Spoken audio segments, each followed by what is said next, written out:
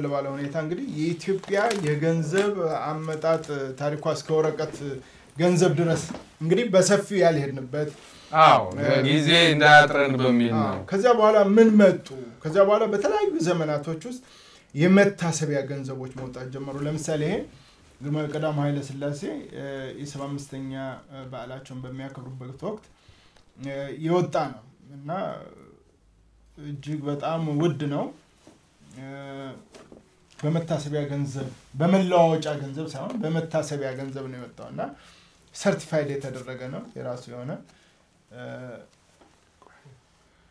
ይሄ ተመልካቾቻችን የመታሰቢያ ገንዘቡ መያዣ ነው። አሁን ገና የምታዩት የተሸፈነ የተሸፈነበት ማለት ነው። እዛው ላይ ያለ ቆይ እንደዚህ ነው ገንዘቡ በመታሰቢያነት የተሰራው። እንግዲህ እንደምታዩት ምንድን ነው አሁን እዚህ ላይ ይሄ አንደኛ በተለይ ለታላላቅ መንግስታቶች ወይም ለውጭ ሀገር ሰዎች በስጦታ መልክ የሚሰጥ ሲሆን እዚህ ላይ ያለውን ማንበብ ትችላለህ። የኢትዮጵያ ንጉሠ ነገሥት መንግስት ሁለት መቶ ብር ይላል። ሁለት መቶ ዶላር ነው ምልክቱ፣ የዶላር ምልክት የዶላር ምልክት ነው። በአሁኑ ዋጋ Empire of Ethiopia ይልና 1966 ይላል በፈረንጅ በእኛ 1958 አ፣ የተሰራ ነው። እና ምንድን ነው አሁን ይሄ ወርቅ ነው ማለት ነው? ይሄ ወርቅ ነው፣ ንጹህ ወርቅ ነው። ምናልባት ይሄ በአሁኑ ሰዓት ወደ ሁለት ሺህ ወደ ሁለት ሺህ አምስት መቶ ፓውንድ ይሄ ብቻ የሚያወጣው ተመልካቾቻችን አፓርትመንቱ የት እንደሚገኝ ተናግሬ ችግር ላመጣ ነው። እና እያንዳንዳቸው የተለያየ ዋጋ ተመን ይሄ ሁለት መቶ ነው። ይሄኛው መቶ ነው። ይሄ መቶ ነው። ተመልካች አንድ አይነት ሆኖ ግን መቶ ነው። መቶ ዶላር ይላል እንጂ እነዚህ በሳንቲም ደረጃ ማለት ነው። አይደለም። ይሄ ሀምሳ ነው። ኦ ሀምሳ ይሄ አስር ይሄ አምስት ሴቱ ነው ሙሉ ይሄ ግን ለአንድ የሚሰጥ ነው። ይሄ እንግዲህ ምንድን ነው መሰለ አንዳንድ ጊዜ ን- ንጉሠ ነገስቱ የመታሰቢያ ገንዘብን ይዘጋጅና በቤተ መንግስቱ ነው። ታላላቅ የውጭ ሀገር እንግዶች ሲመጡ ወይም ደግሞ እንግዲህ እነሱ ለልዑላን ቤተሰቦችም ሳይቀር ይሰጥ። እና አሁንም እኮ አውጥተዋል እኮ። አሁንም ወጥቷል አለ ከአሁኑ በፊት የበደርግ ጊዜ በጣም የሚገርመው አዎ፣ ሁሉም በጣም የሚገርመው ነገር እንግዲህ ያሉት ነገስታቶች በሙሉ ለመታሰቢያ ታሪክ ወጥቶላቸዋል እና ይሄ የመታሰቢያ ገንዘብ ወርቅ ነው በሙሉ ከአጼ ቴዎድሮስ እስከ አጼ ቴዎድሮስ አጼ ዮሐንስ አጼ ቴዎድሮስ በማን የወጣ ነው ማለት ነው? በቀዳማዊ ኃይለ ሥላሴ ጊዜ ነው የወጣው ለሁሉም ነገስታቶች መታሰቢያ እዚህ ጋር የሚታዩኝ እንግዲህ ተመልካቾቻችን አጼ ቴዎድሮስ፣ አጼ ዮሐንስ አጼ ዮሐንስ፣ አጼ ሚኒሊክ ንግስት ዘውዲቱ። በጣም የሚገርም ነገር ቢኖር ንግስት ዘውዲቱ በኢትዮጵያ ታሪክ ውስጥ ለዚህ ለ17 ዓመት ምናምን በነገሱበት ዘመን ውስጥ 17 ነግሰዋል። እንዴ? አዎ፣ 17 በነገሱበት የደርግ ያህል እኮ ነው። ግን ብዙ ዘመን እንደኖሩ አይደለም ታሪካቸው። አዎ፣ በነገሱበት ዘመን ውስጥ አንድም የሆነ የራሳቸው ገንዘብ በተለይ ምኒልክ ሲሞቱ ምኒልክ ሲሞቱ ምናልባት የእሳቸውን የገዙበትን ዘመን እንደገና ልናየው እንችላለን በስንት ዘመን እንደቆዩበት ሆኖም ግን ምኒልክ ሲሞቱ ገንዘብ ሚኒስቴር ሄዶ የሚኒሊክ ምስል እንዲወጣና የእሳቸው ምስል እንዲተካ ጠይቀዋቸው ነበረ። እሳቸው ግን በትህትና አገላለጽ እኔ ለኢትዮጵያ ሕዝብ ምን ሰርቼ ነው? የኢትዮጵያ ሕዝብ ለአባቴ ውለታ ሲል ነው ያስቀመጠኝ። ስለዚህ በእኔ በምንም አይነት ምክንያት የአባቴ ምስል ይቀመጥ እንጂ በእኔ ምስል መለዋወጫ ገንዘብ እንዳይወጣ ብለው ስለከለከሉ ብቻ የመታሰቢያ ገንዘብ ወጣላቸው እንደ ሌሎቹ ነገስታቶች ማለት ነው። ስለዚህ ያም ማንንም ሳይለይ ነው እንደምትመለከተው ማንንም ሳይለይ ነው። ይሄ እንደገና ደግሞ በዚሁ አይነት ሁኔታ ሆኖ በብር ያኛው በወርቅ ሲሆን ይሄኛው ደግሞ በብር የነገስታቶቹን ምስል ይዞ ነው የወጣው። ቀደም ሲል በወርቅ የተሰራውን አይተናል። የኢትዮጵያ ነገስታትን የመታሰቢያ ገንዘብ።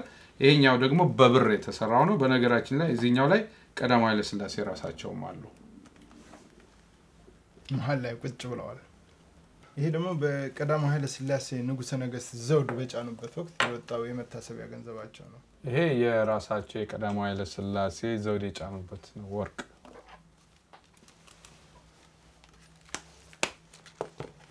እዚህ ጋር ደግሞ ከንግስቲቱ ጋር በመሆን ከቴጌ ጋር በመሆን ማለት ነው ብቻቸው አዎ፣ ከእቴጌ መነን ከባለቤታቸው ጋር ሆነው የተ- የተሰራ መታሰቢያ ነው ይሄኛው።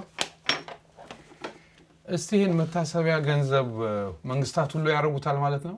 አዎ የተለያዩ ሀገሮች በኛ በኛ አሁን በደርግ ጊዜ ለምሳሌ እነዚህ የመታሰቢያ ገንዘቦች ናቸው። ግን የነገስታቶችን ሳይሆን ያወጡት እነሱ ህዝባዊነት በተለይ የሶሻል ተመልካቾቻችን የዚህ የደርግ ጊዜ ናቸው፣ ግን በጣም አነሱ። አሁን እዚህ ላይ ግን በምስሉ ላይ የማያቸው ምን እንደሚወክሉ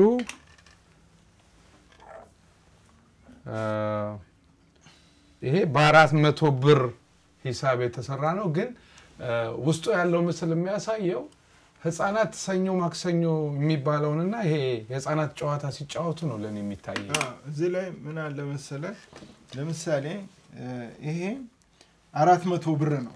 አዎ። በአራት መቶ ብር ነው። ይሄ የህብረተሰባዊት ኢትዮጵያ የህፃናት የመታሰቢያ እንትን ነው ለህፃናት መታሰቢያ ነው የወጣ ነው።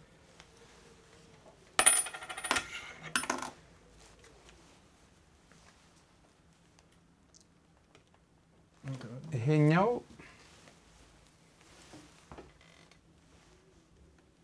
ከበስተጀርባው አንበሳው ነው ያለው የተለመደው፣ ግን ከፊት ለፊቱ World Football ይላል። ለስፖርት መታሰቢያነት የተሰራ ነው። በብርም እዚህ ጋር አለልህ ይኸውልህ፣ ታየው እንደሆነ ይሄ World Football የሚል አለ። በብር አዎ ይሄ ነው። በወርቅም በብርም በወርቅም በብርም በደርግ ጊዜ የተሰራ ደግሞ መታሰቢያ ገንዘብ World Football ብሎ የእግር ኳስ ተጫዋቾችን የሚወክል ነው።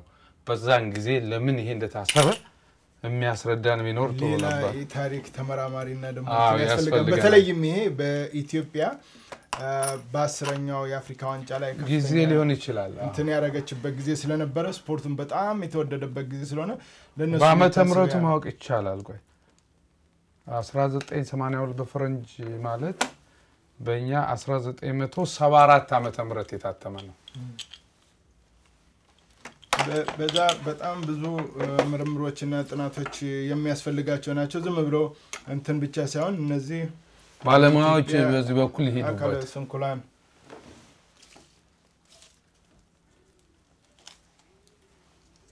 ይሄ በ1974 ዓመተ ምህረት በደርግ ጊዜ የተሰራ መታሰቢያ ገንዘብ የዓለም አቀፍ አካለ ስንኩላን አመት መታሰቢያ ኢትዮጵያ ባለ 50 ብር ነው። ይሄ መታሰቢያነቱ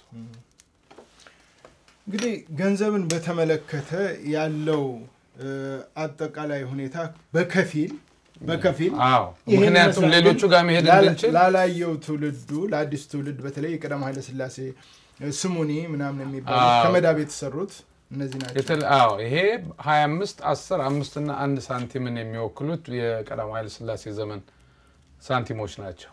እነዚህ ደግሞ በደርግ ጊዜ የህብረተሰባዊት ይሄኛ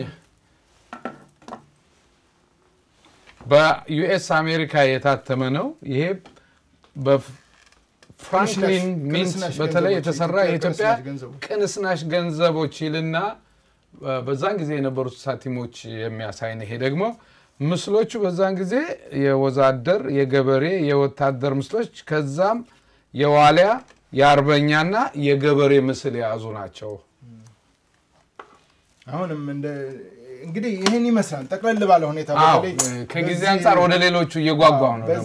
በዚህ ገንዘብ ላይ ቆየን። የገንዘብ ነገር በጣም ብዙ ቆይተንበታል። ተመልካቾቻችን በተለይ የሁለቱን የቀዳማዊ ኃይለ ሥላሴና በደርግ የነበረውን ብቻ ሳይሆን ወደ ኋላም ስንሄድ የአንበሳ ምስሎች በብዛት አብዛኛው ነገሮች ላይ እናያለን እና ከአንበሳ ጋር የተሳሰረው ነገራችን የቆየ ነው ማለት ይቻላል። ያው እንዳልከው አሁን ይሄ የፖስታ ስርዓት ነው።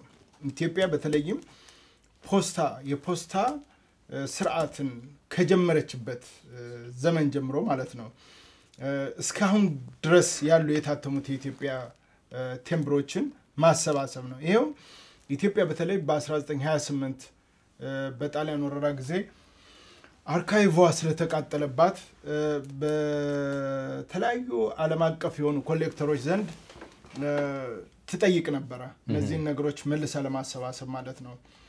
በአሁን ሰዓት ይኑር አይኑር ሁሉንም አሰባስባለች አላሰባሰበችም፣ በአብዛኛው የማውቀው ነገር የለኝም።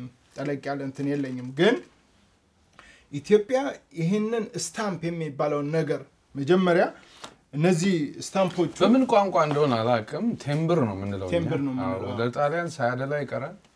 ቴምብር ነው የምንለው በአብዛኛው ግን እዚህ ሀገር በሚባለው stamp ነው የምንላቸው እና በዚያን ወቅት የነበሩት ኢትዮጵያ ለመጀመሪያ ጊዜ ያወጣቻቸው ቴምብሮች እነዚህን ይመስላሉ እና እነዚህ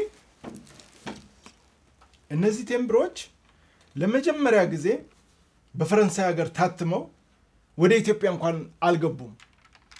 ሰው በጣም የወዳቸው ስለነበረ ለምን የምንም አይነት የኮሎኒ ምልክት ወይንም የሌላ የቅኝ ግዛት ምልክት በቴምብሮቹ ላይ ስለሌለ ኮሌክተሮቹ በጣም ተሻምተው እዚያው ፈረንሳይ ሀገር ተሽጠው አለቁ እና ሁለተኛው እትም ነው ወደ ኢትዮጵያ የመጣው እሱም ድሬዳዋ ላይ ከደረሰ በኋላ ወደ አዲስ አበባ የመግባት እድሉ በጣም ትንሽ ነበረ ይባላል። ማለት በወረራው ሰሞን መሆኑ ነው። ይሄኛው ቴምብሮቹ የወጡት እነዚህ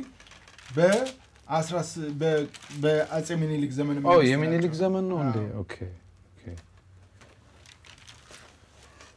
ሁሉንም የስልጣኔውን እንትኑ በሙሉ የጀመሩት ምኒልክ ናቸው እና እነዚህ በምኒልክ ጊዜ በሙሉ የወጡ ታትመው ተመልካቾቻችን በዝርዝር ለመሄድና በጣም በጥልቀት ለማየት ከጊዜ አንጻር ስለማይቻል እንዲሁ በርቀት ጎብኙት ለማለት ነው። ምክንያቱም በጣም ብዙ ናቸው። በውስጣቸው የያዙትን ምስሎች ለመናገር በጣም ብዙ ስለሆኑ ያስቸግራል። የሚገርመው ላይ የሚገርም ነገር ቢኖር አሁን ካለው ከጊዜ እጥረት እንጂ በቴምብሮቹ ላይ የተጻፉትን መልእክቶች ስትመለከታቸው እጅግ እጅግ ኢትዮጵያ ምን ያክል ታላቅ አገር እንደነበረች የሚገልጹ ናቸው።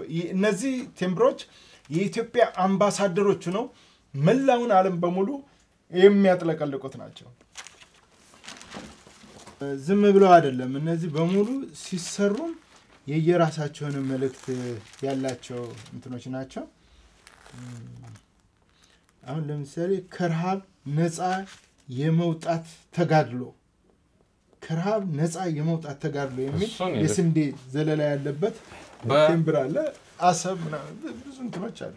አዎ የስንዴ ዘለላ ያለበት ከረሃብ ነፃ የመውጣት ተጋድሎ በቀዳማዊ ኃይለ ሥላሴ ጊዜ የታተመ 1963 እ፣ ይላል። በ- በፈረንጅ ይሁን በእኛ አቆጣጠር በፈረንጅ ነው። በፈረንጅ ነው። okay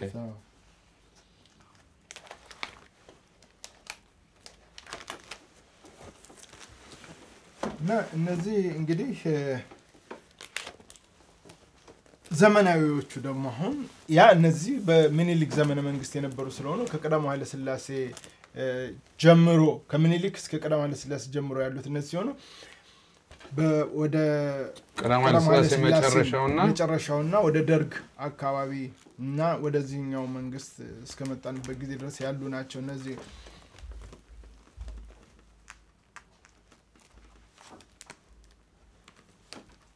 እዚህ ላይ የምትመለከተው የወርቅ ስታምፕ ነው። እነዚህ የወርቅ ስታምፖች እጅግ በጣም አስደናቂ ሲሆኑ እያንዳንዳቸው ሀ- ዋጋቸው እዚህ ላይ አለ። አዎ። ለከፍተኛ የሆኑ ታላላቅ ወዳጆቻቸው የጃንሆይ ዘመን ናቸው። እዚህ ላይ- እነዚህ የአክሱም ገንዘቦች ራሳቸው የአክሱም ገንዘቦች በሙሉ እዚህ ላይ አሉ። የአክሱም ገንዘቦችም መታሰቢያ ተሰርቶላቸዋል። በመታሰቢያ ተሰርቶላቸዋል። እዚህ ላይ ማንበብ ትችላለህ። እንትኖቹን እዚህ ለተመልካች በደንብ ስለማይሆን ብዬ ነው እና ለጊዜ ለመቆጠብ ነው። እንዴ አሁን ይህንን ሳይ ይሄ ቀዳማዊ ኃይለ ሥላሴን ዘመን ይጨርስና ወደዚህ ስንመጣ ግን ማየው በአብዛኛው የብሔር ብሔረሰቦች እኮ ይሄ የደርግ ጊዜ ነው የሚመስለው። የደርግ ጊዜ ነው። ተመልካቾቻችን ብሔር ብሔረሰቦች በአሁኑ ጊዜ በጣም የሚጠራውን ያህል የምትመለከቷቸው በሙሉ ይሄ በደርግ ዘመን የነበሩ የብሔር ብሔረሰቦች አለባበስን የሚወክሉ ቴምብሮች ናቸው። እና ውሸት ነው። ብሔርህ አልተከበረልህም፣ የብሔርህ እንትን ተጥሷል የሚባለው እነዚህ ምስክር ናቸው። ገብተዋል። ዝም ብለው ለቀልድ ወይም ደግሞ ለተራ ነገር የተሰሩ ነገሮች አይደሉም። ተግባራቸው ይገልጻል። ናቸው። አዎ፣ ተግባራቸው ይገልጻል ተግባራቸው። ራሱ። ይህን ያህል ካገኘን ይበቃል። እነዚህ ደግሞ ካርታ ፖስታ በአብዛኛው የተላኩ ደብዳቤዎች ይላኩባቸው የነበሩ first day cover የሚባሉት ደብዳቤዎቹ እነዚህ ቴምብሮቹ ሲወጡ እነዚህ ቴምብሮች ምን እንደሆኑ ውስጥ ያላቸው ይዘት ምን እንደሆነ ስለ እነዚህ በሙሉ ማብራሪያ የያዙ ውስጣቸው ያለ ናቸው። ማየት እንችላለን ከፈለግ አረ እዛው ይቀመጥ ነው እና የኢትዮጵያ አየር መንገድን የሚያሳይ ነው። ለምሳሌ እነዚህ እንግዲህ ይሄኛው ካርታ ፖስታ የሚኒሊክ የመጀመሪያው post card ነው። በኢትዮጵያ ታሪክ ውስጥ የመጀመሪያው post card ይሄ ነው።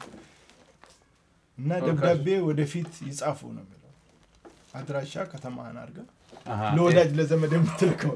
ይሄ የመጀመሪያው የፖስታ ምልክ ካርታ ፖስታ ሊልና ደብዳቤ ወደ ወደፊት ይጻፍ ወዲያ ፊት ይጻፉ ይልና ይድረስ ከከተማና አገር ይላል። በቃ ይሄ የመጀመሪያው ነው ማለት ነው ተመልካች። ይሄ የመጀመሪያው ነው እና የተለያዩ ቀለሞች አላቸው።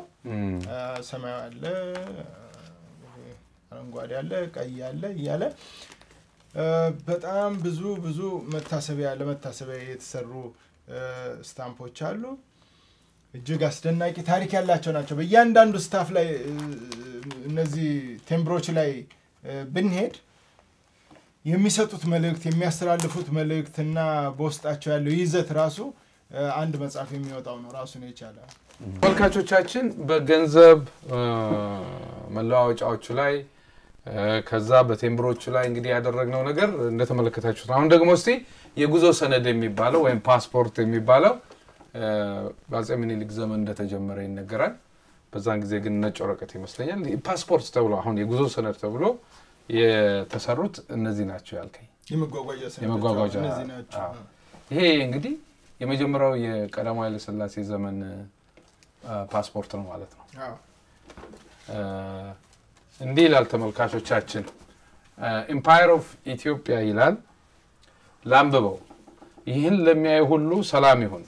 ይህን የይለፍ ወረቀት የያዘ ያለ ችግር በነፃ እንዲያልፍ ወዳጆቻችን የሆኑ መንግስታት ሁሉ የሰላማዊና የጦር ባለስልጣኖቻቸው እርዳታቸው እንዲያደርጉለት እንለምናለን ይላል እና ከዛ እንግዲህ ደንብ ይልና ፓስፖርቱ የሚያገለግለው በገጽ ሁለት ላይ ለተመለከቱት አገሮች ብቻ ነው። ዳሩ ግን ለሌሎች አገሮች እንዲያገለግል ባለስልጣን የሌሎች አገሮች ስም ሊጨምር ይችላል ይልና በመጨረሻ ገጹ ያስቀምጣል። ከዚህ በኋላ ከዚህ በኋላ ይሄኛው ተሻሻለ ማለት ነው። ተሻሽሎ የወጣው የሁለተኛው ፓስፖርት ይህን ይመስላል። ግን በጣም እንትኑም የሚገርም ነው። የሚገርም ይሄንን ለማሳደስ ስትፈልግ ይኸውልህ ሀያ ብር ብቻ ነው። በዛን ጊዜ ሀያ ብር ብቻ ነው የምከፍለው አንድ ፓስፖርት ለማውጣት የኢትዮጵያ ንጉሠ ነገሥት መንግስት የገንዘብ ሚኒስቴር የገቢ የዝርዝር ገቢ ደረሰኝ ይላል። ተመልካቾቻችን የውጭ ጉዳይ ሚኒስቴር አውራጃው ሸዋ ከፋይ ስም ይልና የአባት ስም ከዛ መኖሪያ ገብሮ አዲስ አበባ ይላል። የገንዘቡ ልክ በፊደል ሀያ ብር ብቻ የከፈለበት ምክንያት ቁጥሩ እንዲህ ለሆነ አዲስ ፓስፖርት ስለተሰራላቸው የከፈሉት ይላል። የገቢው አርዕስት ብሎ በቁጥር ያስቀምጥና ሀያ ብር ነበር። ይሄ እንግዲህ በ1960ዎቹ የሚከፈለው አሁን ፓስፖርት ስላላወጣው አላውቀውም። ተመልካቾች ከዛ ወዴት እንሄዳለን? ከዚያ ወደ ደርግ ወይም ደግሞ ይሄ ደግሞ በደርግ ጊዜ የነበረው የመጀመሪያው ፓስፖርት ነው። የኢትዮጵያ መንግስት ይላል። Ethiopian government ይልና ፓስፖርት ይላል። ከውስጥ ግን እዚህ ላይ ሳገልጸው ያለፍከው ነገር ይቅርታ። አለ። ኦ፣ አላየሁት፣ ይቅርታ።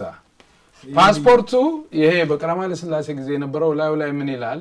ኢትዮጵያ ታበጽሕ እደዊሃ ሀብ እግዚአብሔር ወይም ኢትዮጵያ እጆቿን ወደ እግዚአብሔር ትዘረጋለች የሚለው ነው።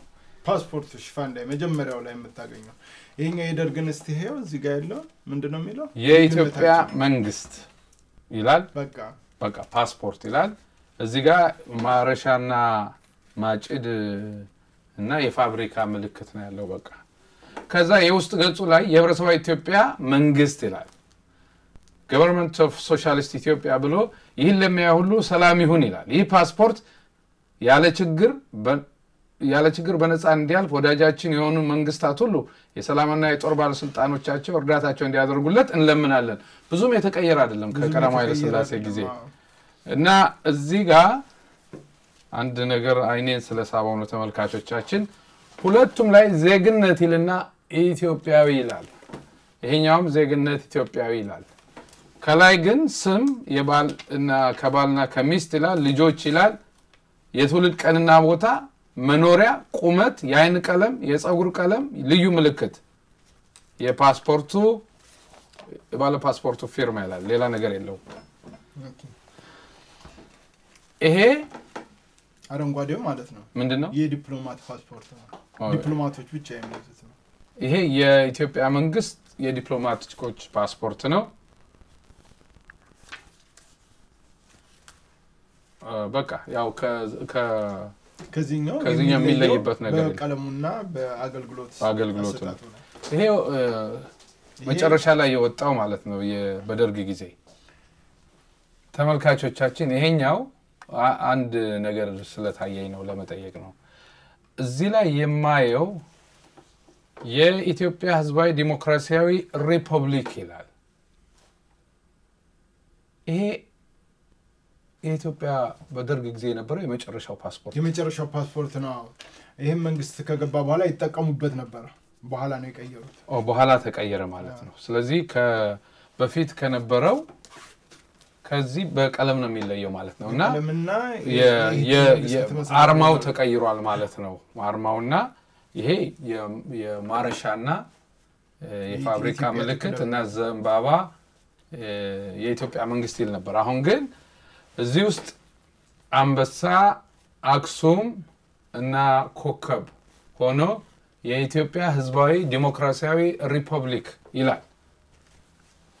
እንደዛ ሆነን ቆየንና አሁን አዲሱ መንግስት ሲመጣ ደግሞ ተቀየረ ማለት ነው። ልክ የእንግሊዞችን ፓስፖርት አስመስለው አመጡት። በስምም ለውጥ አለ። ይሄኛው ይሄ ምልክት ያለበት ያው የኢትዮጵያ ህዝብ ትልቁ ክብሩ ላይ አጸያፊ ድርጊት የተ- የተለጠፈበት የሰይጣን ምልክት ያለበት አርማ ነው። እዚህም ፓስፖርቱ ላይ ያለው 666 የሚሉት የኮከብ ምስል አዎ እነሱ ደግሞ የብሔር ብሔረሰቦችን እኩልነት የሚወክል ነው ነው የሚሉት። በሁለቱ ፓስፖርቶች መካከል ያለው ልዩነት ስማቸውም ይለያያል እንድታዩት ነው። ይሄኛው የኢትዮጵያ ህዝባዊ ዲሞክራሲያዊ ሪፐብሊክ ሲል፣ ይሄኛው የኢትዮጵያ ፌዴራላዊ ዲሞክራሲያዊ ሪፐብሊክ ስሞቻቸው በውስጣቸው ምን ያህል ተግባራዊ ሆነዋል የእናንተ ፍርድ ይሆንና ይህን ይመስላሉ የጉዞ ሰነዶቻችን በኢትዮጵያ ታሪክ ውስጥ። በሶስተኛ ካስቀመጥ ነው የንጉሠ ነገስቱ ደግሞ ይህንን ይመስላል። እና ኢትዮጵያውያኖች ከሀገር ወደ ሀገር የሚዘዋወሩበት የጉዞ ሰነድ በአጠቃላይ ይሄን ይመስል ነበር።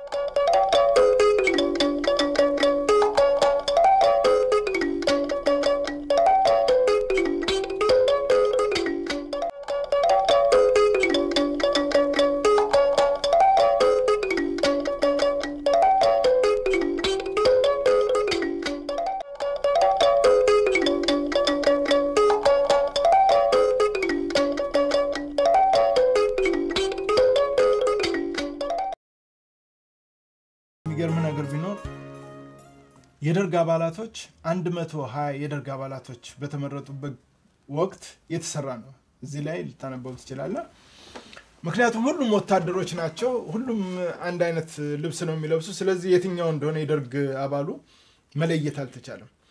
ስለዚህ የደርግ አባል መለየት ስላለበት ይህ ምልክት ተሰርቶላቸው እዚህ ላይ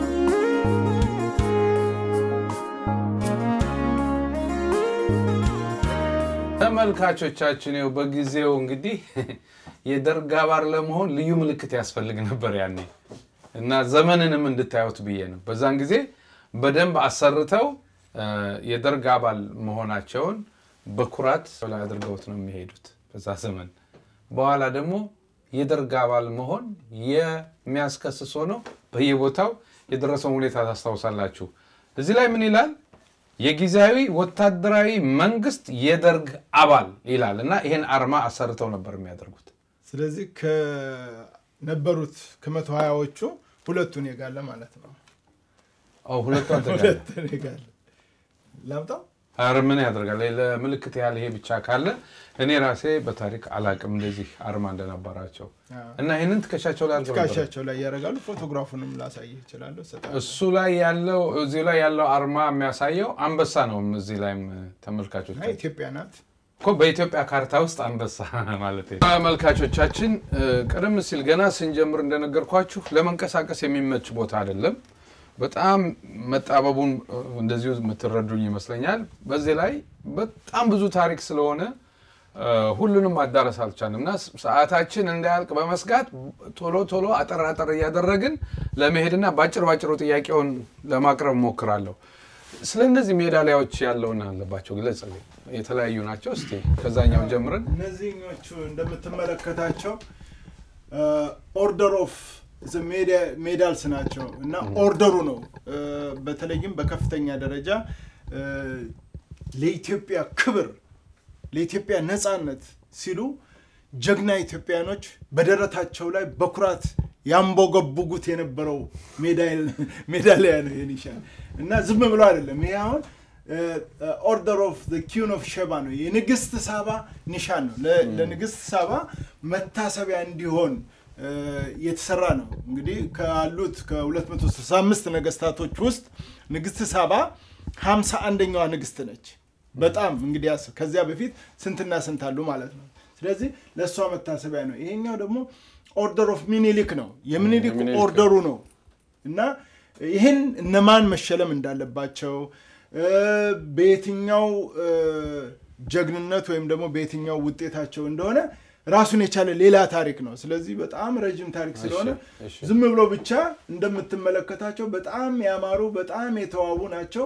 የወርቅ ቅብ የሆኑ ናቸው። እነዚህ ደግሞ የኃይለ ሥላሴ በኃይለ ሥላሴ ጊዜ የተሰሩ የ Holy Trinity የሚለው የ order ነው። ይሄ ደግሞ Star of Ethiopia የሚል ነው። የኢትዮጵያ ኮከብ ይህም ትዝ- በቀዳማዊ ኃይለ ሥላሴ ጊዜ ይህም በቀዳማዊ ኃይለ ሥላሴ ጊዜ ነው። በጣም ትዝ እንደሆነ ታው ትዝ ይልህ እንደሆነ አትበለኝ። እኔ ብዙ አይ እየጎተትከኝ ነው እኮ በጣም ወደ ኋላ። ትዝ ይልህ እንደሆነ ያልኩበት ዋናው ምክንያት ይሄ The Star of Ethiopia የሚባለውን ኒሻን አዎ። ማማ ተሸልመውታል። የምታውቀው ነገር አለ የምታስታውሰው? ለምሳሌ ይሄ The Star of Ethiopia የሚባለውን እዚህ ያሉት የኢትዮጵያ ቅርስ ማበልጸጊያ ማህበር አባላቶች ተሰብስበው በተለይም ዋሽንግተን ዲሲ ያንተ የክብር ቀን በተደረገበት ወቅት ታማኝ በየነ ተሸልመውታል። ፈረንጆች አንድን ግለሰብ ከሀገር ማውጣት ይችላሉ፣ አንድን ሀገር ግን ከአንድ ግለሰብ ልብ ውስጥ ማውጣት አይችሉም እንዲሉ ድንቅ የሚባል አባባል አለ። ለዚህ አባባል ታማኝ በቂ ማስረጃ ነው። ከሰራኸው ስራ አኳያ ለድካምህ ባይመጥንም ከሰበሰብኳቸው የሀገሬ ቅርሶች መካከል በቀዳማዊ ኃይለ ሥላሴ ዘመን የወጣችውን የኢትዮጵያ ኮከብ የተሰኘችውን ሜዳሊያ ለአንተ መታሰቢያ እንድትሆን ልክ ያለሁና እውነትም የኢትዮጵያ ኮከብ መሆንከን እንድታውቅልኝ እፈልጋለሁ። አለባቸው ተለለ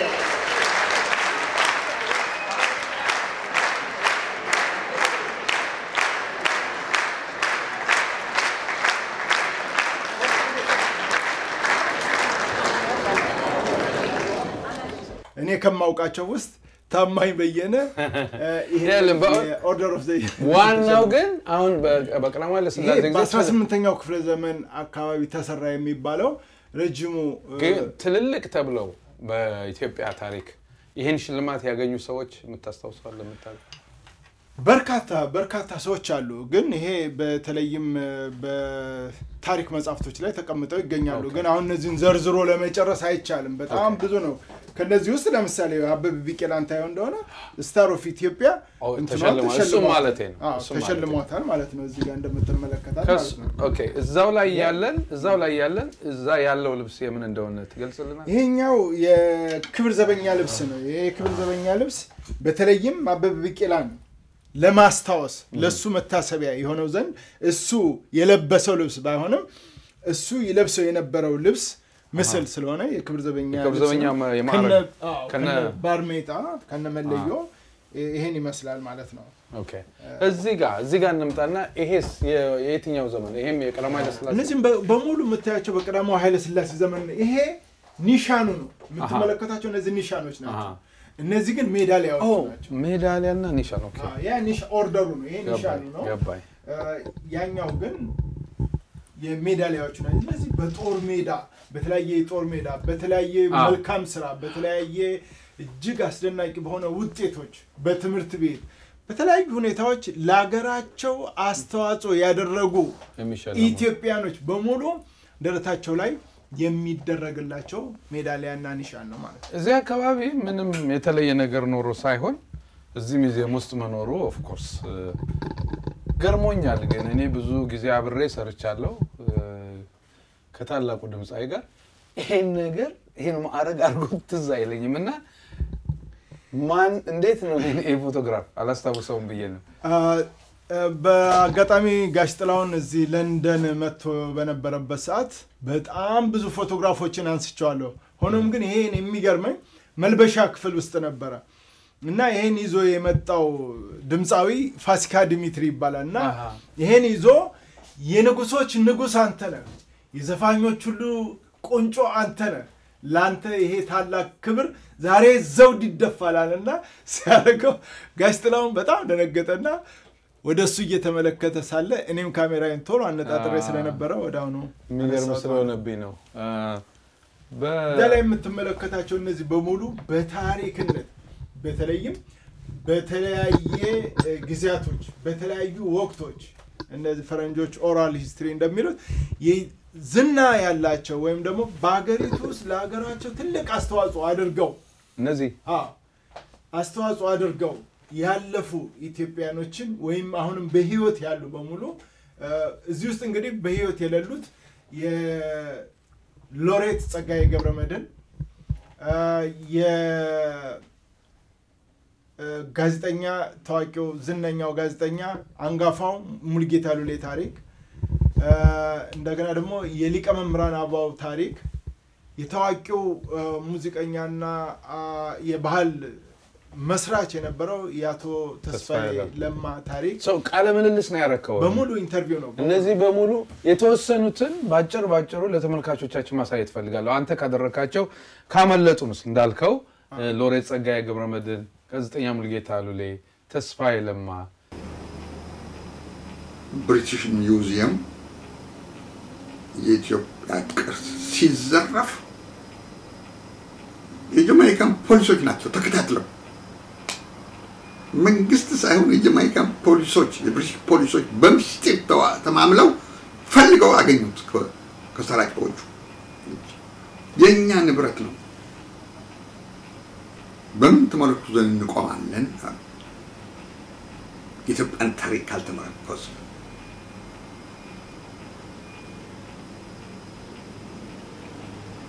ምርኩዝ የሌለው ህዝብ ተመልሶ መቆም አይችልም። ምርኩዙ ደግሞ ቅርሱን አውርሱ።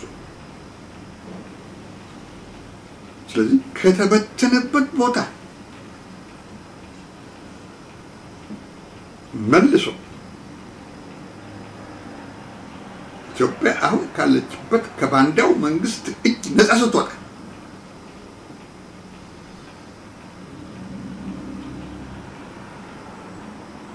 መልሶ ማስገባት የእያንዳንዱ ኢትዮጵያዊ ነኝ የሚል ሁሉ ግዴታ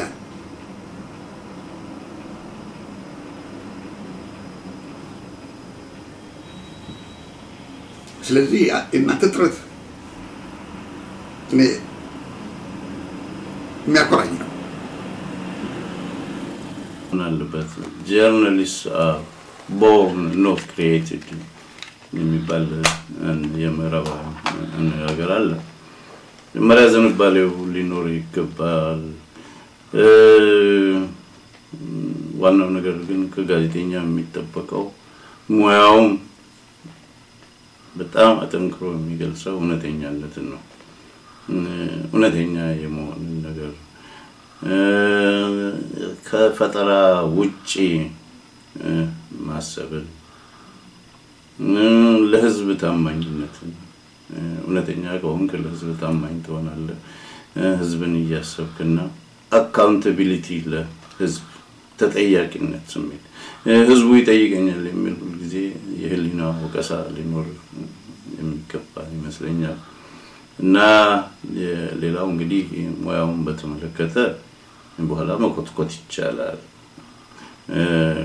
የራስህ ስታይል ሊኖር ይችላል። የራስህ አቀራረብ ሊኖር ይችላል።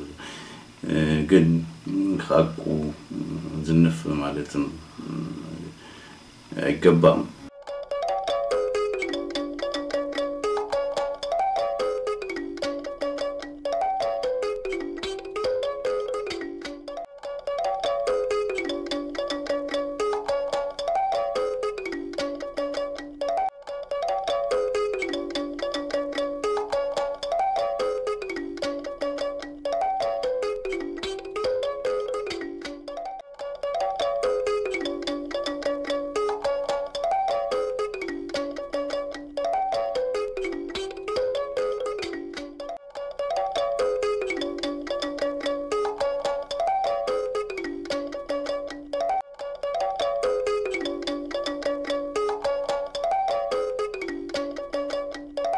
ነበር የጠየካቸው? እየሄድኩ ነው። ይሄን እንግዲህ በራሴ ወጪ ነው። ከዚህ ተነስቼ በተለይም አቶ ጸጋይ ገብረመድህን በህይወት በነበሩበት ወቅት ከማምለጣቸው በፊት የመጨረሻውን portrait ወይም ደግሞ የመጨረሻውን record ያደረግኩት እኔ ነኝ እና አሁን በቅርቡ እንደውም የእሳቸው ይወጣል። መቼ እንደሚወጣ ያው እስካሁን ድረስ አልተወሰነም። ስለዚህ በቪዲዮም እየቀረጽክ ታስቀምጣለህ። ከዚህ በተጨማሪ ሁሉ ነገር በሙሉ እዚህ የምትመለከታቸው ኦዲዮዎች አሉ በሙሉ እየተቀረጹ የተቀመጡ ናቸው። እነዚህ ደግሞ በለንደን ወይም ደግሞ በዚህ እኔ ባለሁበት አገር በሙሉ የተቀረጹ ዲቪዲዎች ናቸው እነዚህ በሙሉ ማለት ነው። በተለያዩ ሰላማዊ ሰልፎች በተለያዩ በቃ ለንደን ውስጥ ያሉ ማንኛውም ኢትዮጵያን የሚመለከት እንቅስቃሴ እየተከታተል ኢቬንት በሙሉ የተቀረጹ ናቸው እነዚህ ማለት ነው። ተመልካቾች እንደምታዩት በዚህ መልክ በእንዲህ አይነት ጠባብ ክፍል ነው የሁሉ ነገር ሆኖ የምትመለከቱት። ቀደም ሲል እንደነገርኳችሁ ወደ ታችም ቢካሄድ ወደ ላይም ቀና ቢባል ታሪካዊ ነገሮች ነው ያሉት። እነዚህ የምትመለከታቸው ደግሞ በርካታዎቹ በኢትዮጵያ ታሪክ ላይ ለምርምር ለጥናት ወይም ደግሞ ኢትዮጵያን በተመለከተ አንዳንድ ሰዎች ሲመጡ እንደ reference የሚጠቀሙባቸው ናቸው። እዚህ አካባቢ የምትመለከታቸውን በአብዛኛው ፕሮፌሰር ሪቻርድ ፓንክረስት የእሱ ስራዎች ናቸው። ፕሮፌሰር ፓንክረስት ከመጣ በኋላ ይህን ሁኔታ በማየት በመደነቅና በመደሰት ለአንዳንድ ነገሮች እንዲጠቅሙ በማለት እሱ ራሱ እየጻፈ እሱ ነው እዚህ ቤት እየመጣ እነዚህን እንደዚህ እያደረገ እዚህ ቤት መጥተው ነው ይህንን የሚፈርሙ እየጻፈ እነዚህን እየጻፈ እየፈረመ በሙሉ የሰጠኝ እሱ ነው። ፕሮፌሰር ሪቻርድ ፓንክረስት ነው በሙሉ እነዚህ የምትመለከታቸው የእሱ መጽሐፍቶች በሙሉ እሱ የጻፈባቸው ናቸው።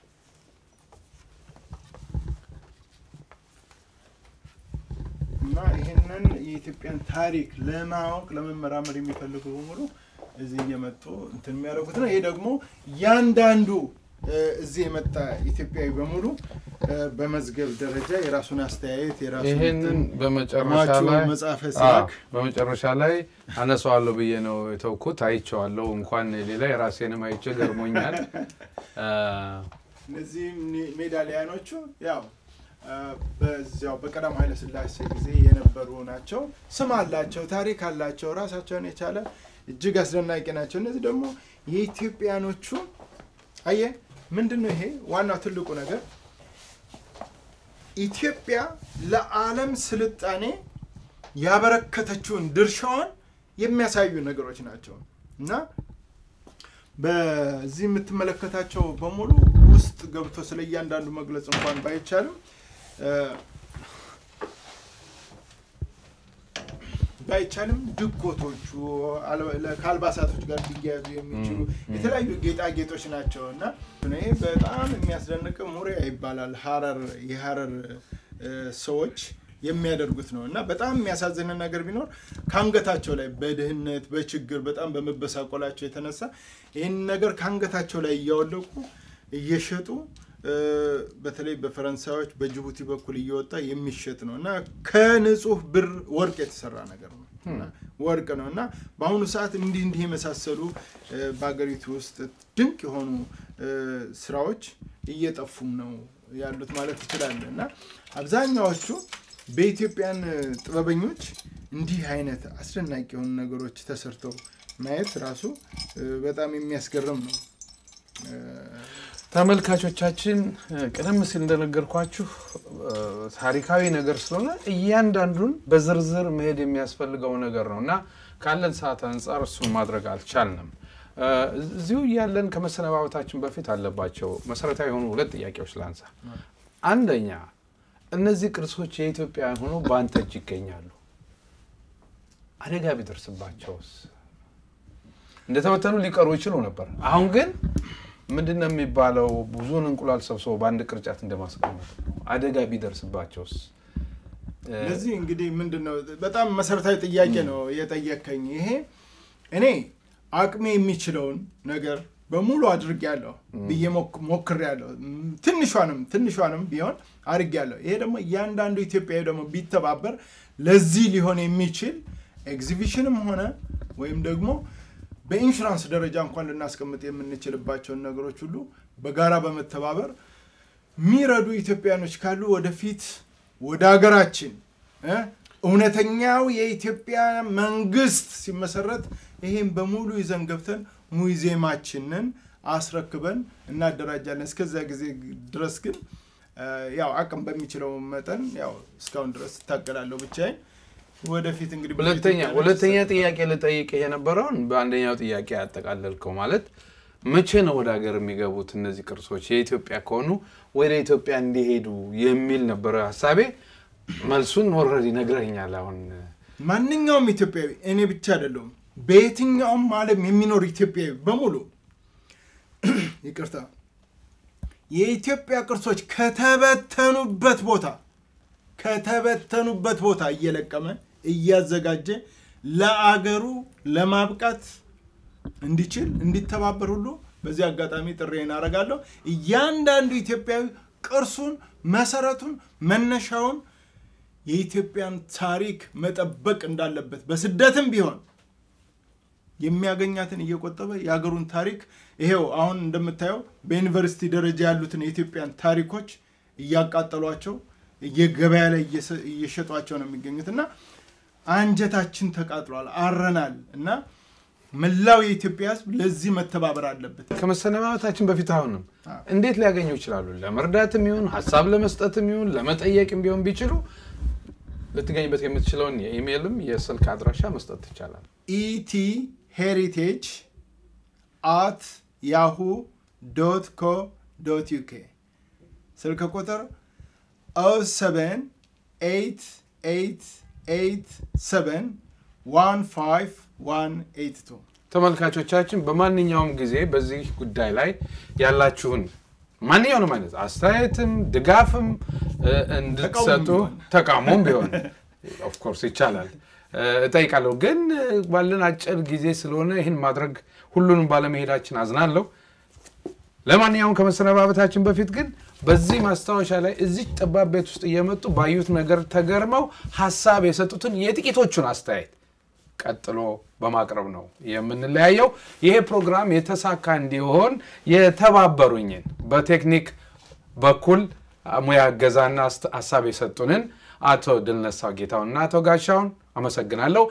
የለንደን ስቱዲዮ ባለሙያዎችን ያሬድ አዱኛን፣ ቴዲን፣ አብይ ካሳን በሙሉ አመሰግናለሁ። ተመልካቾቻችን በሌላ ዝግጅት ሌላ ጊዜ እስክንገናኝ የዛሬውን በዚህ ፈጸም።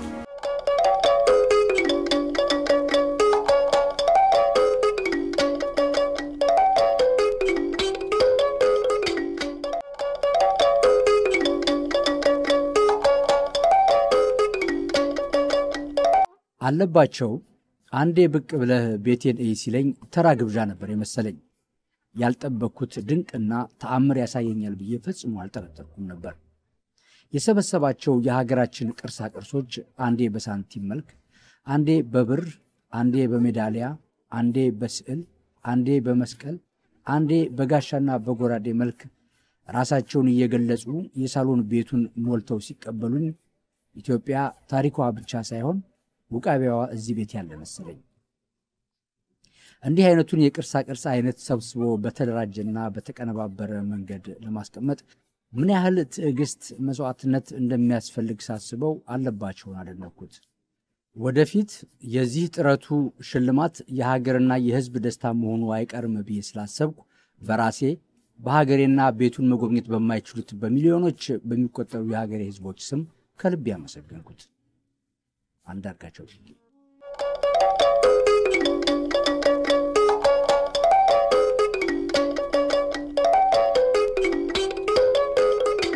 ወንድሜ አለባቸው የኢትዮጵያን ታሪክ በተረገጠበትና አገር በቀል ሽፍቶች ሊያጠፉት በሚጥሩበት ወቅት ለትዝታ የሚሆኑ ማንነታችንን የሚዘክሩ የተወሰኑ መረጃዎችን ለማቅረብ ያደረግከውን ሙከራ የሚደነቅ ብቻ አይደለም፣ የተቀደሰም ነው። ሁላችንም በየፊናችን የሀገራችንን የተሟላ የትናንትና የዛሬ ክስተቶችን በምንችለው መንገድ ለትውልድ የማስተላለፍ ኃላፊነት አለብን። ይኸውም አንዱ የዘመናችን ጦርነት ሆኗል። ታሪክ ለመግደል የሚፈልጉ ወስላቶች የሚሞክሩት ሁሉ የማይቻል መሆኑን አንዱ ማስረጃ የጀመርከው ጥረት ነው። ኢትዮጵያ እየተሸጠች መሆኗን፣ ቅርሳ ቅርሶቿ ከቤታቸው እየወጡ አብልጦ ለሰጠ የሚቸበቸቡ መሆናቸውንም በእንባና በደም በተቀላቀለ መልኩ እየተወያየን ነው። ለጊዜውና እኛንም አቃጥሎ የሚያልፈውን ይህን የክደት ሥራና ሴራ ግን እኛ ባይሆንልን ታሪክና ትውልድ የሚታደገውና የድል አክሊል የሚደፋበት ይሆናል። አይጠረጠርም። ያንተ ግላዊ ጥረት አርክቶኛል። ትግሉን ቀጥልበት፣ አብረን ነን። እግዚአብሔር በጸጋውና በምሕረቱ ይጠብቅህ። ተባረክ። ሙሉጌታ ሉሌ ማርች 15 ሁለት